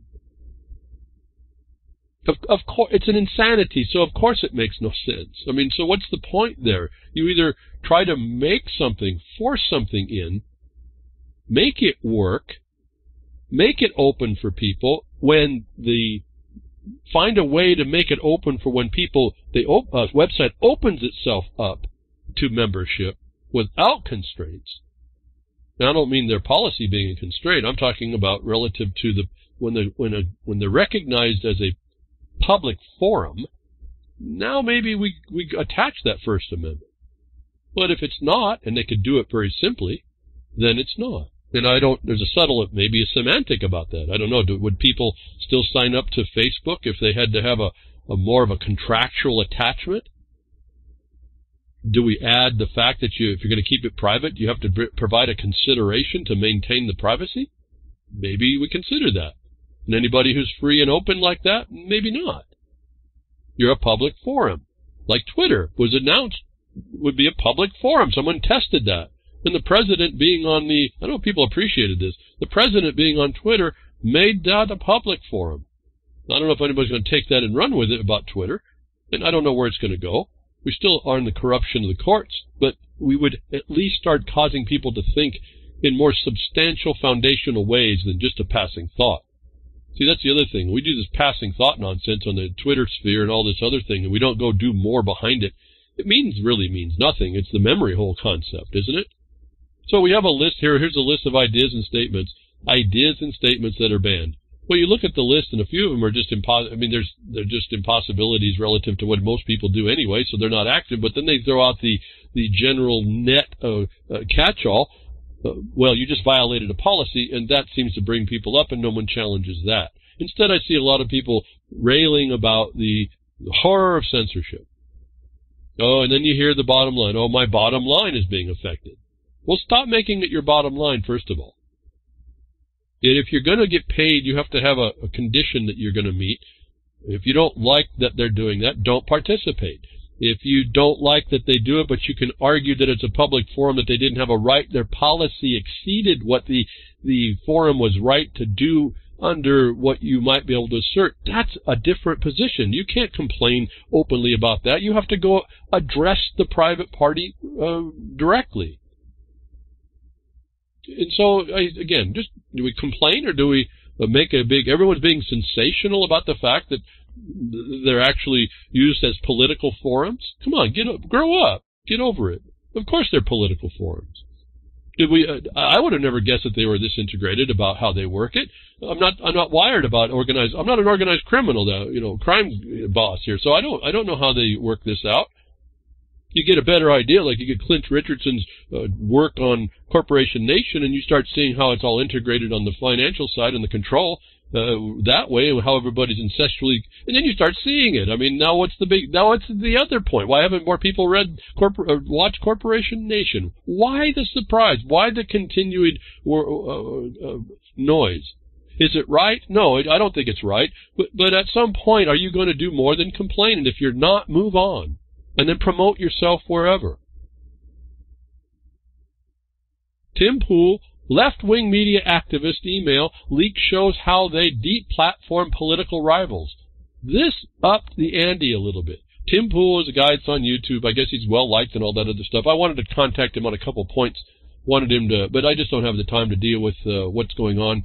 Uh, at least in my mind, I don't know what it would take uh, to try and inform him on a couple things. He has a following. He could be telling people his uh, the, some of the things he likes I could contribute to him, but I just haven't had the time to how to work out that with the way the direction that a lot of this stuff goes. Uh, is real difficult for me to really uh, to have a thought about. But he brings up an email link that shows how the deep how the rivals deplatform politics. If you read this email, it's very interesting uh, to watch how people, uh, so-called left wing media activists, uh, again, I, I think those are just labels that that kind of cover things as well. But we have a direction, I suppose, we can kind of lean, but we can show our distinction if we are, or our com- our compatriotism if we are, to the word left. Uh, that uh, they talk about uh, this woman, April, sent a letter to Chase relative to some uh, some websites, uh, the Chase payment program. uh, to question. Now she's supposedly doing this as a journalist to question Chase's support and, and processing about that at all. But she mentions a, a Soviet uh, Southern Poverty Law Center. They showed in this email how an influence could be done from a so-called journalist that uh, works against a corporation who's providing money to impose the stakeholder threat. As I tell you, the stakeholders are like Genghis Khan on your door, and then he's got his horde standing behind him, and he says, "Would you let me in?" And you know, if you don't, it won't matter. And this is the kind of thing. This is a stakeholder. This is really a criminal in my mind about how they did this, and the, they tried to cover it up over her uh, being a journalist. To me, it's more important the tactic they use. That if you want to get into this war, why don't you just do the same? And eventually you're gonna you're gonna watch the whole of the internet be destroyed, and there will be no monetization anyway. If you all if you're as creative on the right, like with your memesterisms, and you started to address this like the left is doing, this we, we would burn down the internet relative to payments because everybody can be viewed in a certain way with all this SJW stuff as a, some hater, and we can just burn down the internet, at least the monetization of the internet. Now, for me, I don't care. Let's do it. But if, if you're going to make a complaint, make a decision. Strategize whether or not that's involved uh, something that you you need to do or not, or move on. Uh, so this is interesting. Uh, it shows an email of how the uh, the stakeholder uh, creates himself as a stakeholder to become Genghis Khan to develop that mental horde against a corporation that doesn't want to be caught. Not that they're doing anything wrong, but because of the way the story's framed, and they just don't have the ability to undo that. No, I'm not supportive of Chase. I mean, they're they're a major a major tool, if not weapon, if not uh, implementer uh, of this whole thing. So it's not about that either. So you understand, it's about looking at what's going the dynamic. Do you want to adopt this? I I would say maybe you should consider it. What's the problem? If the whole if you're not going to monetize one part, let's not monetize any of it. If you really want to get serious. Otherwise, what's the story here? You just see people doing their darndest in order to uh, harm and hurt people. That's what that's what this internet has become. It's just this big tool for harm. No one, no one, well, everybody, and everybody wants to get in the in the pitch battle either. Also, Probably, likely why I only got a couple hundred people that come around the Twitter or or the, or the FN network or the Minds. The Minds, I got just a handful of people. But behind Minds, you see a whole bunch of nonsense going on as well. I don't see a difference, a distinction between all these places. They're all in it for their game, and they're all in it for getting you to plug in. And I'm real resistant to that. It may be to my own detriment. I have so many people saying, why don't you go here, go to a better network, go this, go do that. Well, going doing things more than what I'm doing is a lot of time that I may not have actually. But but I've looked at some of this stuff. Is it really advantageous? Do I get more people doing? Well, I don't know that I do. And so I rely on you all in order to help promote the ideas to stop become being whiners, stop putting the responsibility on we. You take responsibility on something you want and take my lead, if you will, to start the thing, if I talk about it, to go do something about the harms that you do. I actually, when I think about that, looking at what they do, again, I'm not an organized criminal mind. I'm not a crime boss. I would have never gone to thought about writing a letter to Morgan Chase to go after a couple people and their funding. I, I'm not in it. It's I'm not that guy. I could care less. I don't. If you want to do it, do it. I don't want to go after undercutting, but there's people out there that will. You want to raise your game to meet them, you're going to have to follow what they do and get more creative than that. So you can complain, you can say, oh, we have leaked. Leak. Stop. They're just clickbait. And, and I guess another thing I, I just saw Tim Pool put out, he's talking about there's a lawsuit against Google and it's been allowed to go to discovery. It was sensationalizing that too much. Not to dismiss Tim Pool and what his work is, but see, we get into this sensational thing. I'm not really into that either. And that's not going to drive, that's not going to drive clicks. I can only, I can tell you that.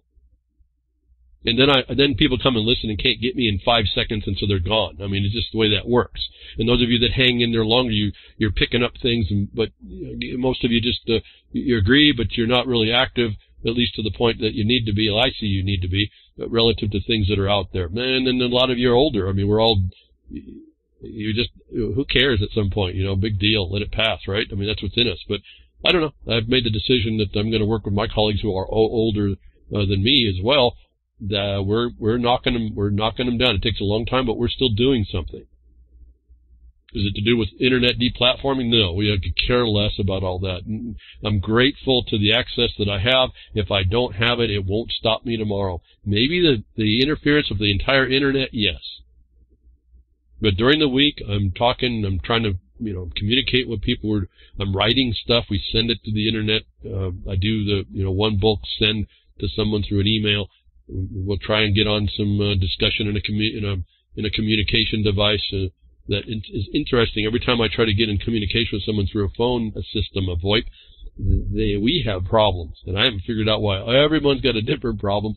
It's been very difficult, and to pick a good uh, VoIP is has become much more difficult uh, as far as the security features.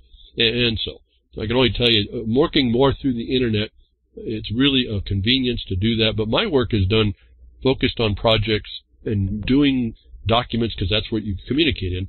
And it's not into, I could care less about the deplatforming stuff. They want to kick me off of a place. It won't stop my work because I'm doing something else. It's not my world. Will it hurt about getting the word out? Yes, it always will. But that's not the world either because if, again, I don't, if I, if I disappeared tomorrow, would anybody really care? I mean, some of you might. I appreciate all that, but really, I'm just going to be, I'll just fade off into the, into the ether net won't I? Because if you're not listening now to do anything, you don't care. You're just going to look at the next breads and circuses. Some of you will really miss what maybe I'm contributing, but are you doing something with it? So uh, it's not. I'm not too invested in some of this. I certainly can see where we need to be doing better. I need to be doing better. Uh, I guess I could anticipate doing more.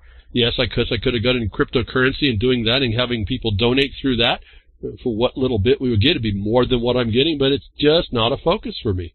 And because it's not a focus, I'm not invested. But if you're going to make the investment and you're going to do that, you better be willing to defend that more than just a complaint. It doesn't matter that someone wrote a letter to Chase to deplatform some people. That's the reality. It won't matter because they're not going to come back and say, wait a minute, but this is the same thing in reverse and maybe outing the Southern Poverty Law Center and going back and starting to show where all these corporations that can do this don't have the right to do that to people based on a stakeholder letter. And you all may not even understand what I just said about how this dynamic works. I tell you, it's everywhere. It's how the world works right now. And if you don't have it understood, You'd rather, I just know you go to complaining, you think leaking, uh, finding a leak something or rather is the answer. And it just may give people a heads up, but nothing's going to come of it. Until something comes of it. See, that's the whole point. You got to do. So there's been an attack on this, uh, on, on, on just communication, on what we might call journalism, on people, whistleblowers have been attacked for years. This is just the ongoing attack by governments generally corporations. Remember, your governments were started by corporations. Okay? Mostly for a lot of them from the crown themselves. We're talking about the colonies that stretched out. So, you see, this is just a big old business deal. Why they held commerce as controlled to them in the constitutions. And this little anomaly called property interests, the property rights, just it blows me away. That's the little thing we have to hold on to. And no one really wants to understand that better. And so when you own a thing, you control a thing. Uh, if you're on a platform and you're not controlling, you're not owning it, you're not controlling it. That's all. Control is possession. That's it.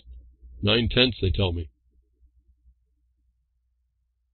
So you can again, we can argue about all this. Yes, I don't like seeing that uh, someone became a stakeholder and shut down someone else from talking. That that can't be good. But are you going to whine more about it? Are you going to become look at me the victim, or are you going to turn around and use all your your listenership to coalesce something to go after that, or just start your own stuff and stop? Just stop whining about it. I don't know why you want to make and waste time about it if you're not going to follow through. So Again, media is under attack. It's been under attack. We've been hearing it coming. Australian federal authorities raid even more journalists over leaked documents. So we got leaking going on everywhere. And yet, and the governments are coming back.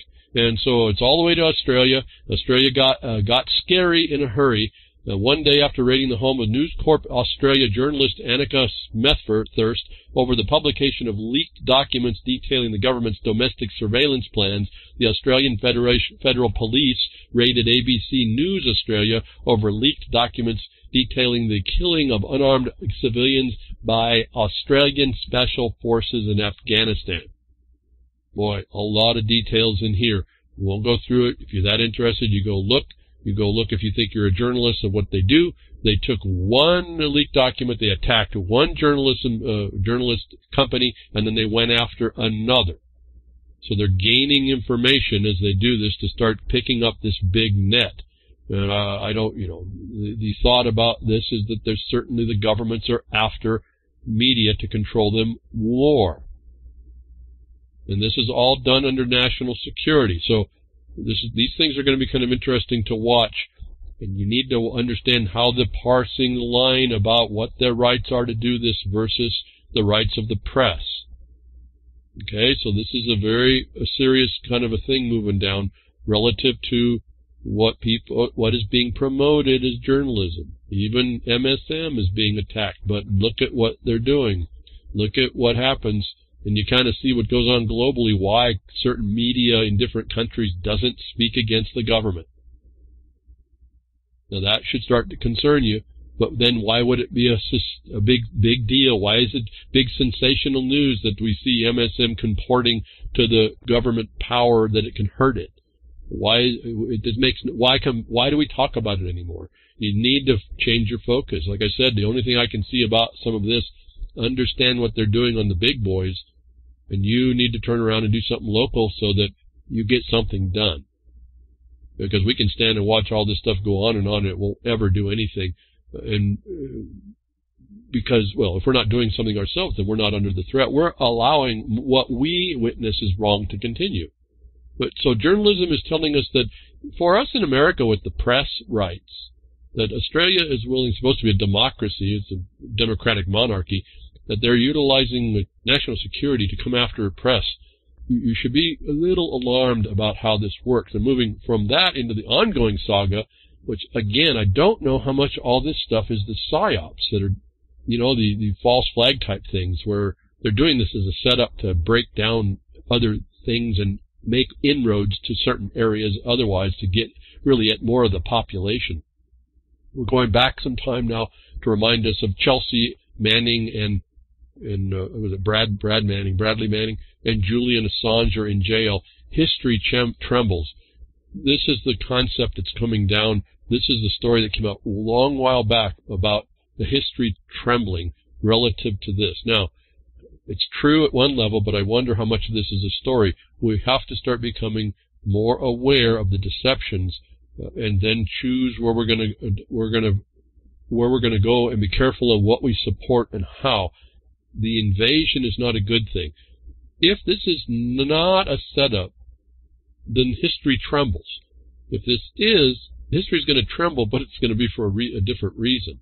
Uh, tonight, both Chelsea Manning and Julian Assange are in jail, both over offenses related to publication of material specifying U.S. war crimes in Afghanistan and Iraq, and both charged with nothing else at all. This is consistent with the Australian news, uh, Australian Federal Police invading the news, normal news agencies. So we now see a, a combining. This is not just not Julian Assange and the, and the NSA and all that. This is actually out there. The mainstream media is consistent with something that's happened in Afghanistan that they don't really want out. And so, not sure what that is, and I don't know what it means more than we already know is an abomination, and not only Obama's nation, but uh, even the continuing one around the world what the United States does and the and the coalition. I don't know what is being exposed there that they want to cover up. So there's something to brew, but it's attacking journalism. It's attacking your, it's a censorship, if you will.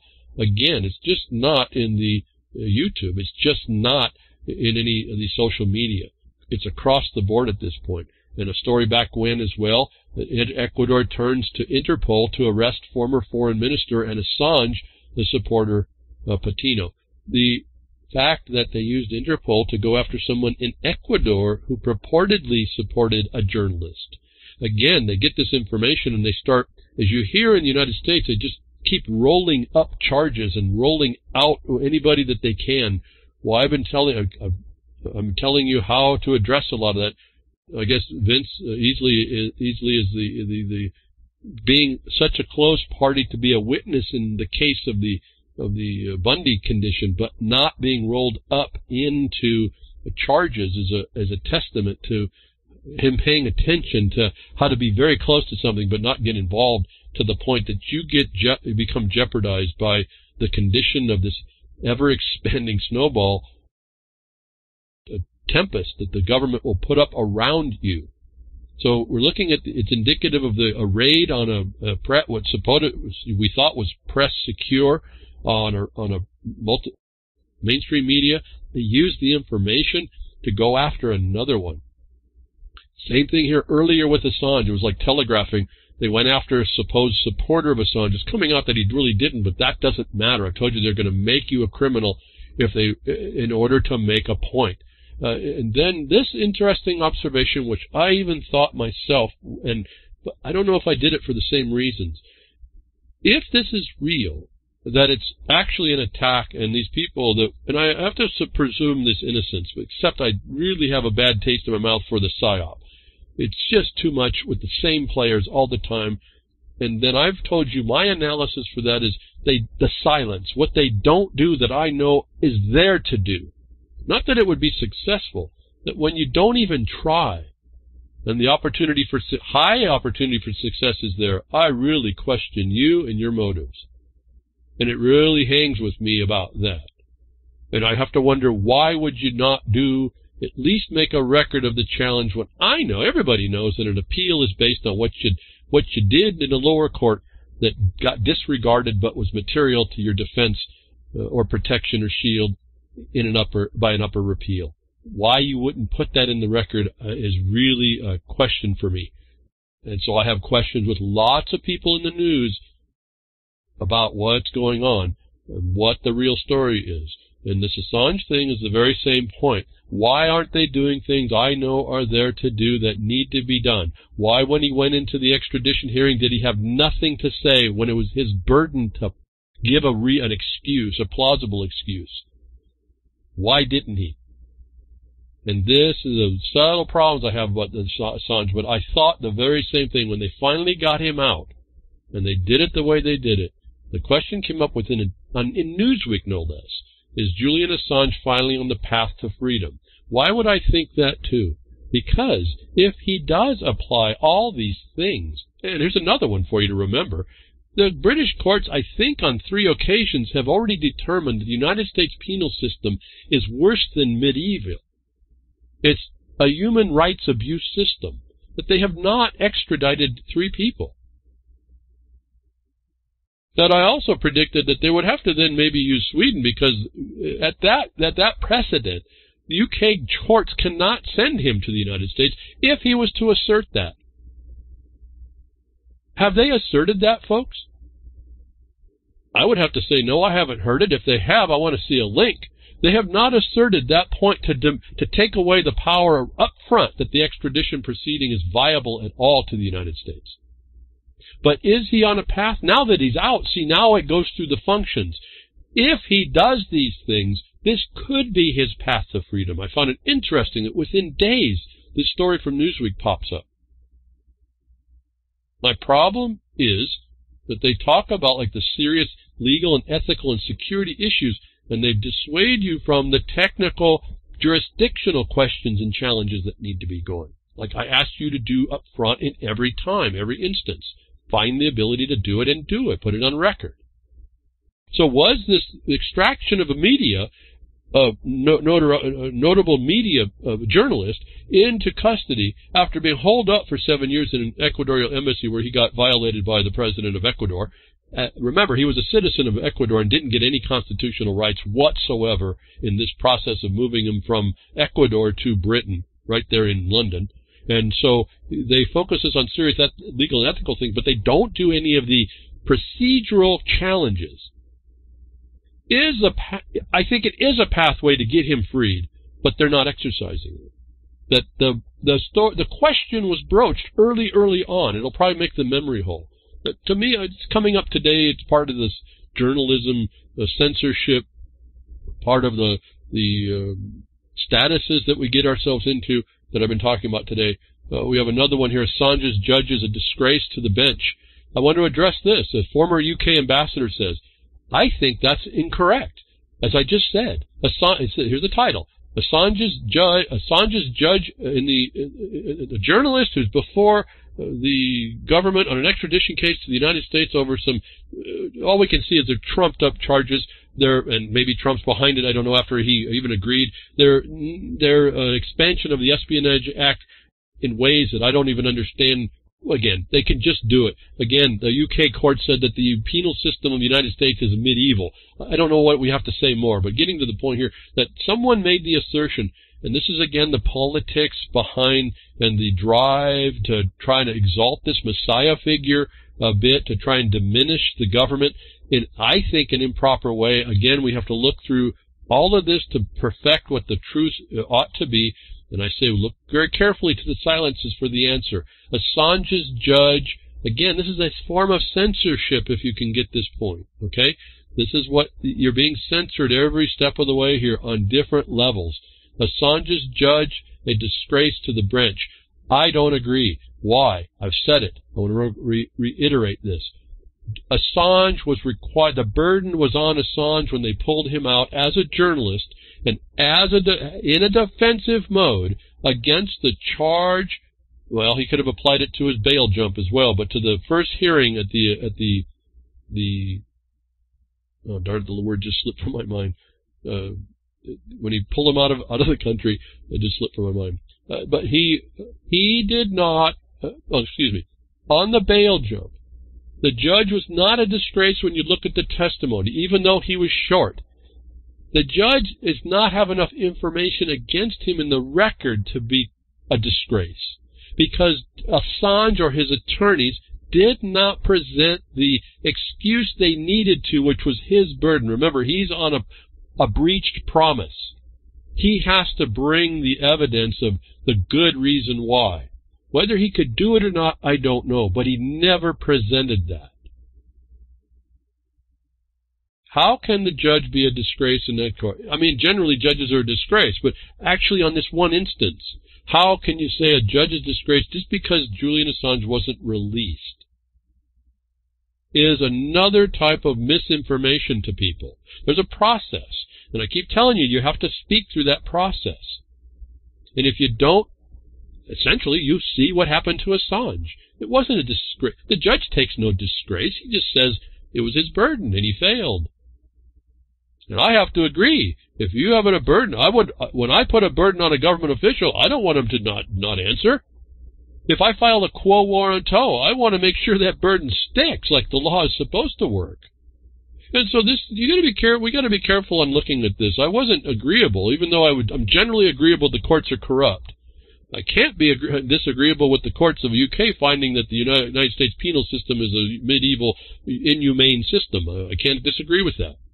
And so to that part, they're right.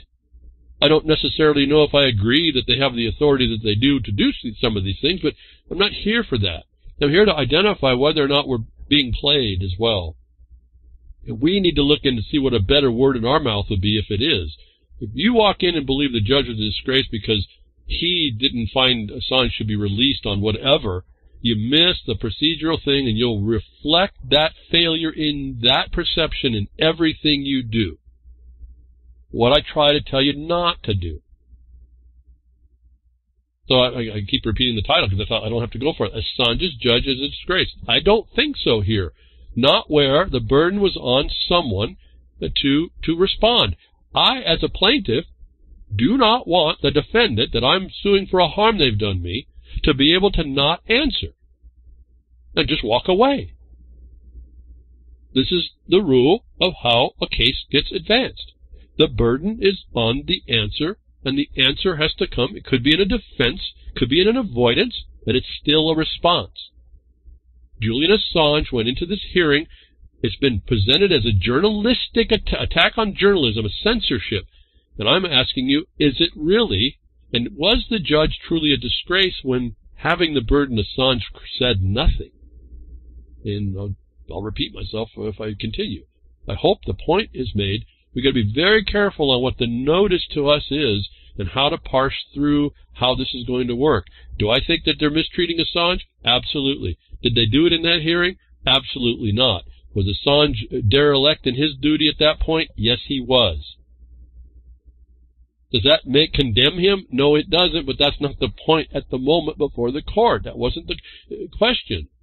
The question was, do you have an excuse? And he stayed mute. M-U-T-E. He was silent on that point, and he had to have an answer.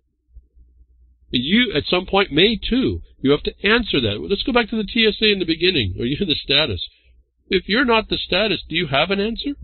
Can you answer? Is the burden on you to answer or not? And if you can't understand this burden flipping, you'll miss that answer. And the answer is no, you have no burden at all. They have a policy. They have to, sub- uh, against what you say you can't, their policy has to have an answer. That's their burden, not yours. So, uh, not being able to analyze the news, not being able to see what's going on correctly, we can be persuaded against our better interests. And I, again, I'm always trying to find out where that might be. Always trying to find out how we, how maybe I can articulate how to look at this stuff to educate ourselves and how we move this thing forward and how not to get too balled up in a lot of stuff and get wrapped too tight take an impartial and neutral view of what's going on. And I'll tell you, I don't know where we're being played and where we're not. And when I have a lot of, a few people that are notorious and not in a good way, I mean, they're known and they are in serious potential trouble and they won't take the most basic uh, foundational counsel or advice in what the law says, I have to question them. And I keep wanting to say names, but I'm not going to. In fact, it just came up again. Someone saying, "Oh, defending myself, this and that and the other. We're going to do this and that." And I'm asking, "Well, why didn't? Why are you defending yourself against a potentially invalid order? Why haven't you made the record of the question anyway?" And if you're not, aren't you then playing into the problem? And you, over time, are allowing the very atrocities we're watching is now global, going across the world, folks. So in our little part, by not responding properly, we let the we let the fire, the conflagration goes and essentially torches the whole world on these certain points. Uh, I guess we uh, analogy we need to be our own little firefighter. San Francisco police chief apologizes for horrifying raid on journalists. That's a big deal, the apology. But we find out it's not truly an apology. Now we find none that the, the police unions get involved where this, uh, they arrested this William Scott. Excuse me, uh, William Scott was the chief. And they uh, arrested the Bryan Carmody, the freelance journalist, freelance journalist. If you don't think those of you on the internet do blogs and all this discussion aren't considered that, was raided He was raided because he received information that most journalists get in exposing something about a government official. And then there's an apology after the raid. And then you find the police union jumping in against the, the commander, the, uh, the, the Scott dude, uh, who who did the apology that that they claim the union, police union, threw the police under the bus. We know the police union is always saying that their police are being thrown under the bus, and we also know the Supreme Court has said uh, you can be too smart and too psychologically stable to be a cop. And I've been telling you, you better go get the right. If you want to live in peace, you better start writing all the policy rules, the policy rules now, because they live and die by those. Live the policy rules relative to re reinforcing the law to keep you peaceful and safe you're going to need to do that because the occupier will not. The only time that happens is when it raises too high like this, and then you find out you're actually not supposed to attack the press, but they did anyway. See, this is the problem. You have to, in this, I told you, one of the problems in this country, and it's probably right, but it's not really right, it's not justice, you have to suffer the harm first before you even have a chance to go back at it. And when they've taken advantage of that, because when you go back at it to try and get your remedy, they've made an obstruction to all that remedy, so it's the lack of obstruction is also the problem of the lack of justice. and I mean timely so, and without a lot of hassle. Uh, here we have a cop uh, coming out and apologize for the raid, a raid on a journalist. When you watch the dynamics, you have to take note of the dynamic because any one of you get, uh, that fit into these conditions can be brought into this invasion that you're seeing now is global. Let's go back to Tim Pool. He has a leaked document. Do you think he's now liable? Do you think that there's no scruple against attacking him? Oh, we made a mistake? That's what they, they blame this as a mistake. People die now under these mistakes. What they did to what they did to Julian Assange, or they did to this guy here, Carmody, what they can do maybe to Tim Pool because he leaked somebody, something, yeah, leaked somebody. You, you, don't maybe not you're picking up you're not picking up how fast this thing is evolving against against us and for years I've been telling you, you have to address it, otherwise it's going to get worse. And I think we're seeing the very first, the very first evidences of this global thing and the reason why your information in this computers are really a weapon against you. And why you have to put that in as part of the, part of the dynamic. Again, it's not that you're innocent, is that someone's going to make you guilty. And you haven't situated yourself or understood how to do the right challenges to prove your innocent status and the fraud of impo- under color of authority and the felony of imposing one underneath that color of authority. I hope you followed that one. This is just the law. I'm just saying, and the law happens to be way far right from everybody in society, apparently. So far right, no one wants to be in it. No one wants to go get behind the woodshed and figure out the most basic, simple stuff. So what, how did they? So here comes the again the military consequence was coming up here in this broadcast. I, if you couldn't tell, uh, again these cops are they they go what the cops go by rank, uh, military ranks. They go by military time. Uh, they have military codes. Uh, so I mean, if you know, if lun looks like a duck, quacks like a duck, and swims away fast, fast like a duck, probably the duck. And so I'm going to go. I'd rather go there than to identify a, a duck as some as something else. Maybe it's a vorpal duck and I should be very careful that it might come and pick my eyes out. So if I don't identify it's a vorpal duck, then I'm in trouble.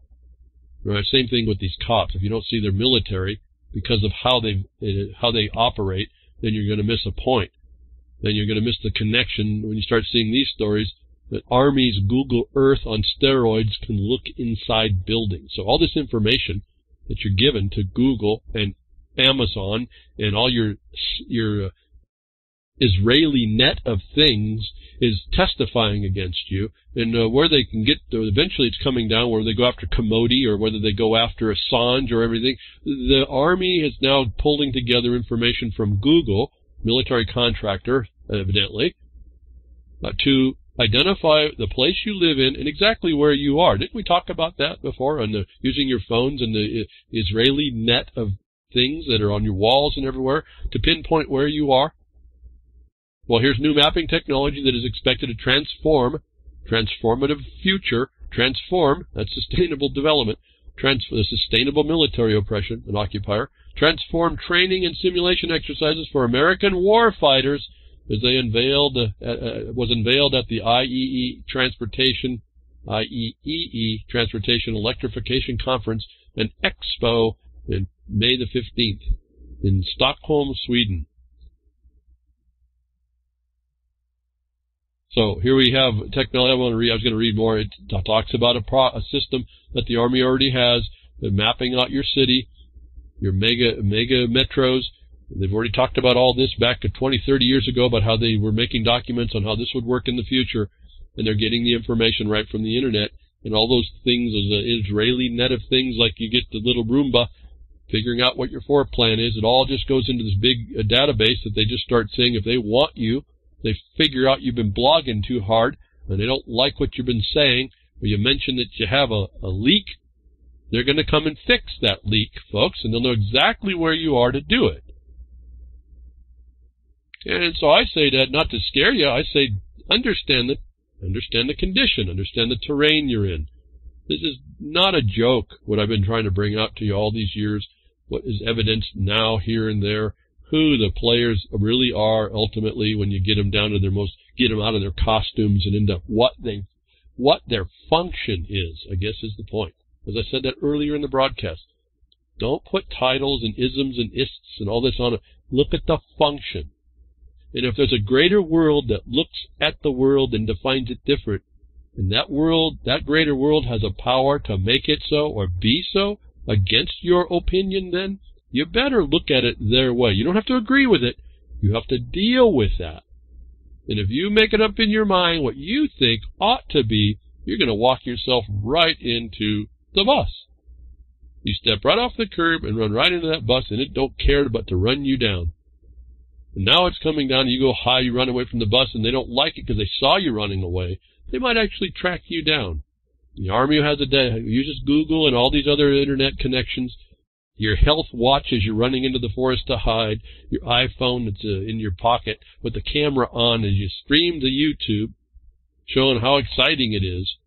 They're using all this stuff against us. And so there's a, how do you then take and turn that around? Do you put yourself in front of the train or do you, do you step offside the track? Try not to look so obvious is what I've been trying to show you how you do. When you have a problem because they've created obstruction in, in your path, how do you, uh, what are the, uh, the analysis that it takes in order to, to uh, deal with it and then to deal with it and pass it? Or, or better, make it so it's not really there for you. You're not it looks like it's there. It's the illusion put up. So the Army is getting all this information using Google. They can actually find out. Uh, they have simulators now that go into any place and tell where exactly where anything is and the buildings, what they look like, how it works out. Amazon installing Alexa in apartments and hotel rooms. They say 24/7 data collection will help property managers better manage and serve the tenants. The Israeli, the Israeli net of things is hot and heavy. I told you to stack them and pack them is going to be what it's all about. The smart cities. It's about surveillance. Amazon is now working with a hotel, um, hotels and or apartment complexes. These are contractors that get special, uh, special uh, incentives to build these types of buildings in your cities or a city near you are going to be installing Alexa in the apartments to, for surveillance. They say they they say that it helps property managers better serve the tenants. They never ask the tenant. These are two two different levels of stakeholder here doing what they want against somebody's interest. Now, of course, there's going to be some some fight about this, but I suspect it's not going to be enough. This is going to come in because people need places to live, and they'd rather expend their money on high-priced, small places that are wired than to live in the street. So this is uh, a, a uh, term called surveillance capitalism. There's a buck to be made. I told you that the the big data is going to be the worst enemy of the people, and you're going to buy into it, you're going to plug into it. And here's an evidence that uh, it's not bad enough that Google's uh, teaming up with the Army to reconstruct, virtual reconstruct your towns and your houses and how you live and where you are, where you might be in the place.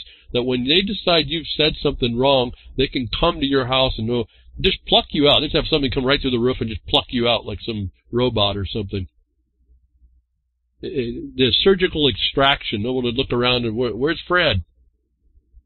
What's that hole doing in the roof? All because all these companies are working together to bring the data to the system, the people that have the power to harm you because you didn't say anything individually, uh, or non-individually, however you want to, about privately about the the the right you had counter to the policy. So it's it's all here for us, folks, to see the prison is there and it's becoming more obvious how they're doing it and they're utilizing all this electronics, which to me is fabulous technology. On the one hand, it's totally the panopticon on the other. And because none of you step up and start to work out how you're going to fix things, it's not going to be fixed. And I just as I said that, my mind just turns. We're dealing with a county who's taken it on themselves to take on their the responsibility to their people in the county and their and their watershed and protect against fire and uh, proper forest management. And they're making rules now that are completely conducive to proper authority that help and protect the people and the watershed as against a federal authority that was actually causing them harm. So my point here is, it's you just give the right education, people will start to do the better thing, and I've got evidence of that now. If you continue to be quiet and don't engage this stuff and start working out what has to be done, it, it won't fix it. Bad don't fix itself. I don't know what else to say about this. Now surveillance capitalism, I told you big data was going to be your biggest enemy.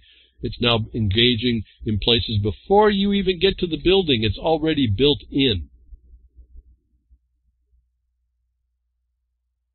So here's another. I don't know if I have enough time to do this one.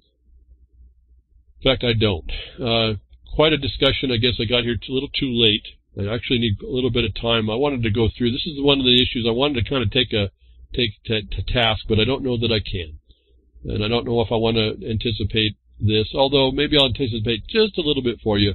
Here's a, a title: "You're under arrest: How the police state muzzles our right to speak truth to power."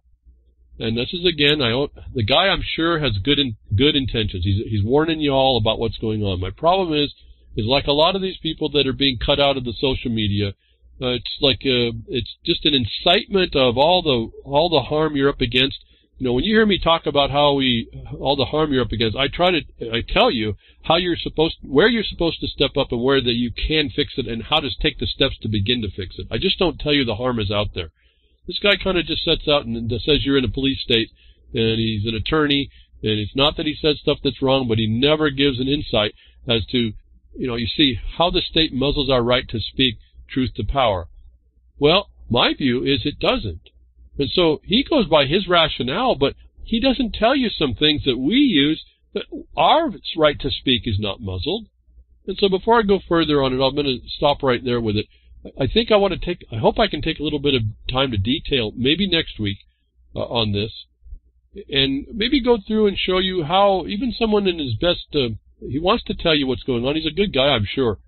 Uh, but how we're falling short to listen, where, where we're, we're listening to this thing without any response, and that there are certain responses.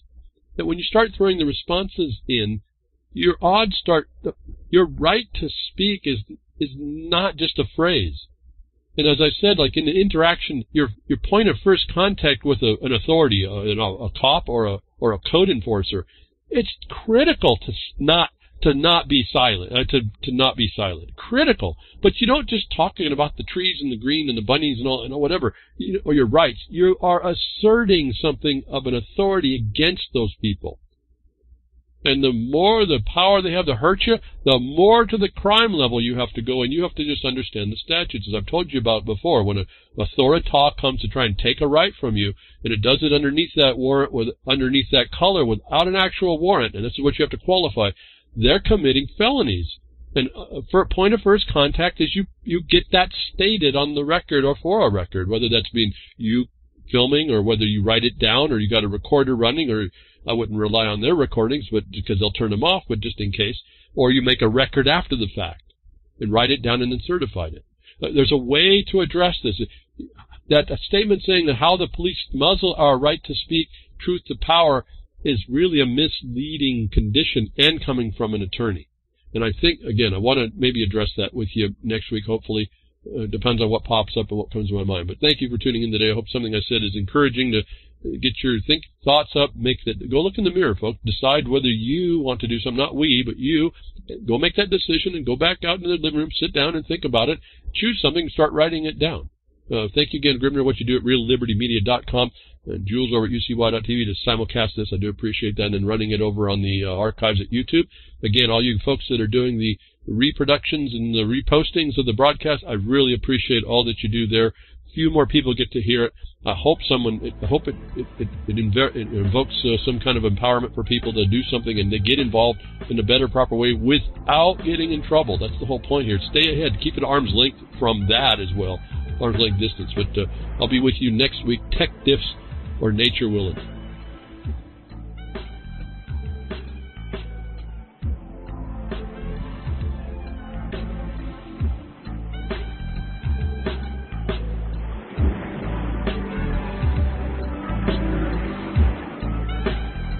Well, that's another lesson. I hope with today's information you can take it to those that misbehave. From behind the woodshed, leaving his mark on the beast, this is Hal Anthony. Till next time, journey with purpose.